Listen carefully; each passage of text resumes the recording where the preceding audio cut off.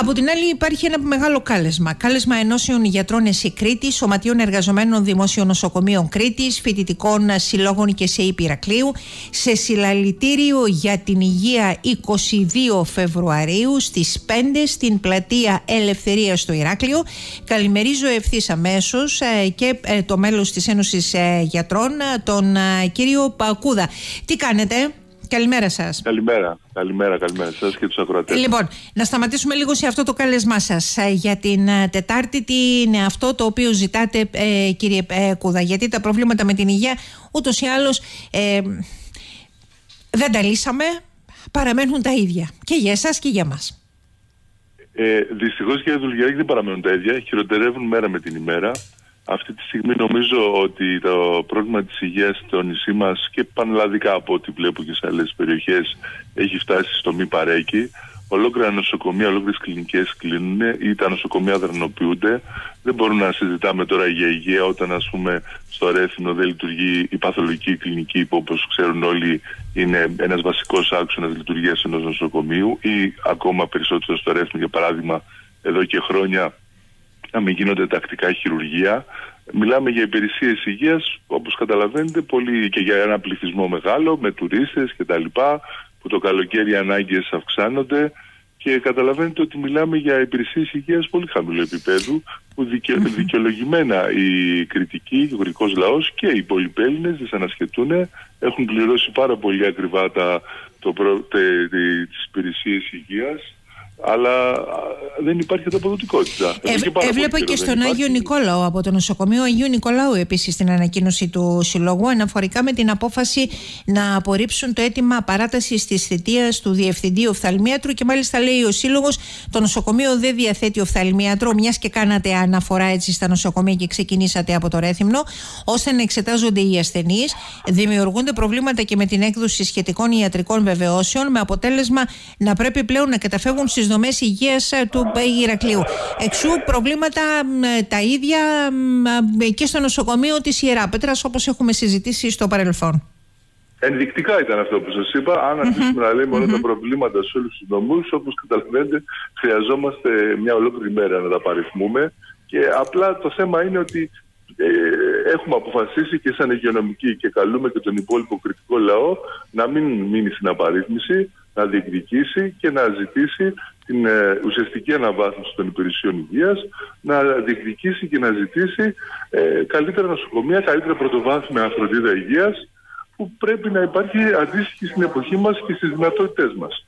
Δηλαδή, προχθές διάβαζα ένα δημοσίευμα ότι μπορούν πλέον με τεχνητή νοημοσύνη και με το κατάλληλο λογισμικό να προσπαθήσουν άνθρωπους, ανθρώπους παράλληλους να περπατήσουν και εμείς μιλάμε εδώ πέρα, όπως είπατε, αν θα ανανεώσει ο διευθυντής του θελμετρική την σύμβασή του ή αν θα έχουμε παθολόγου για να βγουν οι εφημερίες.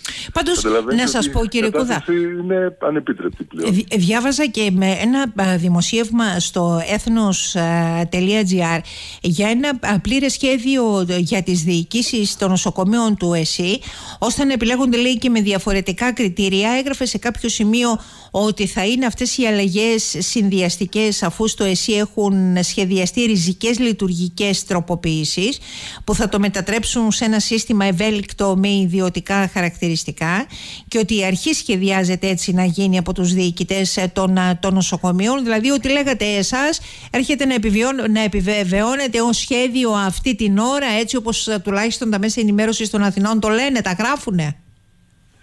Ναι, ακριβώς έτσι είναι κύριε Δουργεράκη. Θυμούνται και οι ακροατές, φαντάζομαι, ότι εδώ και χρόνια το, το συνδικαλιστικό υγειονομικό κίνημα έχει προειδοποιήσει ότι τα νοσοκομεία πηγαίνουν προς πλήρη ιδιωτικοποίηση. Αυτό στο κάτω-κάτω, αν θέλετε, και προεκλογικά και από την παρούσα κυβέρνηση, αλλά και τις προηγούμενες, με κάποιο τρόπο είχε υποθεί, ότι θέλουν δηλαδή νοσοκομεία αυτόνομα που να δουλεύουν σαν επιχειρήσεις.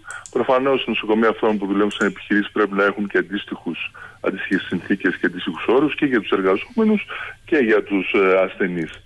Προφανώς αυτό που αναφέρεται, αυτό που αναφέρεστε είναι ας το πούμε η επίσημη αρχή της ε, απευθείας ιδιωτικοποίησης των νοσοκομείων. Μέχρι τώρα θα έλεγα ότι η ιδιωτικοποίηση ε, εντάξει, είναι και καλυμμένη, είναι μεγάλη. Όταν μιλάμε ότι ας πούμε για το Παγνί ένα μεγάλο μέρος των εσόδων του νοσοκομείου δεν είναι από τον κρατικό προϋπολογισμό αλλά είναι από τα απογευματινά ιατρία που πληρώνουν οι ίδιοι ασθενείς, προφανώς πρόκειται για ιδιωτικοποίηση. Ε, τώρα φαντάζομαι αυτό θα γίνει και με την επίσημη βούλα να το πούμε έτσι.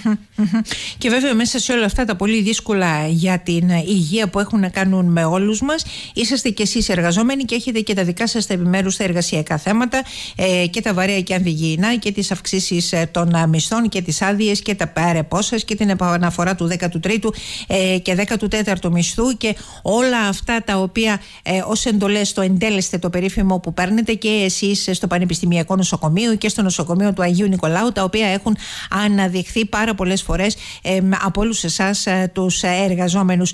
Και μια κινητοποίηση ένα συλλαλητήριο για την Τετάρτη που στηρίζεται και από την Ομοσπονδία σας των νοσοκομιακών γιατρών όπως επίσης και την ε, ΠΟΕΔΗΝ ε, κύριε Κούδα έτσι. Κοιτάξτε, ευελπιστούμε και αισιοδοξούμε ότι αυτό το συλλαλητήριο θα πάρει ε, παραλαϊκό παγκρίτιο χαρακτήρα. Προφανώς στηρίζεται από τις υγειονομικές ε, συνδικαλιστικές ενώσεις, αλλά αρχίζει, όλο ένα και περισσότερο γιατί διαβάζω και διάφορες ανακοινώσεις, στηρίζεται και από ε, υπόλοιπους συνδικαλιστικούς φορείς, από εργατικά κέντρα, από σωματεία εργαζομένων, γιατί ακριβώς, το έχουμε πει πολλές φορές, το θέμα της υγείας δεν αφορά μόνο στους υγειονομικούς, αφορά κυρίως όλο τον υπόλοιπο λαό, όλους αυτούς που θέλουν υψηλής ποιότητας ε, υπηρεσίες υγείας χωρίς να τις πληρώνουν. Και αυτά που περιγράψατε πριν και είναι έτσι και χειρότερα θα έλεγα, δηλαδή οι συνθήκες των εργαζομένων, προφανώς πηγαίνουν χέρι-χέρι με την ιδιωτικοποίηση των νοσοκομείων, αφού καταλαβαίνουμε όλοι ότι ένα ιδιωτικοποιημένο νοσοκομείο που θέλει να έχει κέρδη, προφανώς δεν μπορεί να πληρώνει καλά τους εργαζόμενου του, προφανώς δεν θα έχει μόνιμες σχέσεις εργασίας, προφανώς ε, έχει αποδείξει και η εμπειρία η παγκόσμια και η διεθνή και η δικιά μας εμπειρία σε άλλους τομείς, ότι η ιδιωτικοποίηση σημαίνει και χαμηλότερη υπηρεσίες υγείας. Δηλαδή, εμείς δεν είμαστε ε, κατά της ιδιωτικοποίηση από ένα, να το πω έτσι, ε, ιδεολογικό ή θεσμικό, μια θεσμική αντίρρηση. Είμαστε γιατί αποδεδειγμένα η ιδιωτικοποίηση σημαίνει απαξίωση των υπηρεσιών υγείας, σημαίνει το χέρι στην τσέπη για τους ασθενείς, σημαίνει για μας χειρότερες συνθήκες εργασίας, εξοδοτική δουλειά που ήδη προφανώς την έχουμε, σημαίνει αυτό που περιγράψετε πριν βασικές ειδικότητες να μην υπάρχουν και να προσπαθούμε να βγάλουμε άκρη με, να το πω έτσι, με πατέντες, σημαίνει πάρα πάρα πολλά πράγματα που στην ουσία ε, γίνονται όταν πρόκειται για θέματα υγείας, γίνονται θέματα ζωής και θανάτου. Κύριε Κουδά, Μπορεί βλέπω... ο μέσος ναι. άνθρωπος να μην το καταλαβαίνει που δεν ξέρει. Αλλά ε, ε, πώς να σα το πω έτσι, νιώθουμε πολύ μεγάλη αγωνία όταν δεν μπορούμε να ανταπεξέλθουμε σε βασικά πράγματα και ξέρουμε ότι αυτό θα έχει αντίκτυπο στην υγεία των ασθενών μας και πολλές φορές και στην ίδια τους τη ζωή. δηλαδή, δεν, τι να σας θυμίσω τώρα το παιδάκι που πέθανε, πούμε, στα Γεννητζά, επειδή δεν μπορούσε τον, μέχρι να μεταφερθεί ε, στη ΜΕΦ της Θεσσαλονίκης και ολόκληρη Δυτική Μακεδονία πούμε, δεν είχε ΜΕΦ παιδων δεν είναι θέμα ζωής και Κύριε Κουδά, να πω ότι σε αυτή την uh, κοινή ανακοίνωση όλων των ενώσεων της Κρήτης υπάρχουν και όλοι οι φορείς μέχρι στιγμής που έχουν uh, στηρίξει ή θέλουν να στηρίξουν ή στηρίζουν αυτή την uh, κινητοποίηση, η οποία θα γίνει την Τετάρτη το απόγευμα στο κέντρο του Ηρακλείου. Λύστε μου μια πορεία μου, βεβαιότητα. Στην εφημερίδα Νέα Κρήτη σήμερα Δευτέρα το κεντρικό θέμα είναι με τρικ κρύβουν τα ράτζα, έμφραγμα στο ΠΑΓΝΗ και χύδην όλοι με κορονοϊό και άνευ.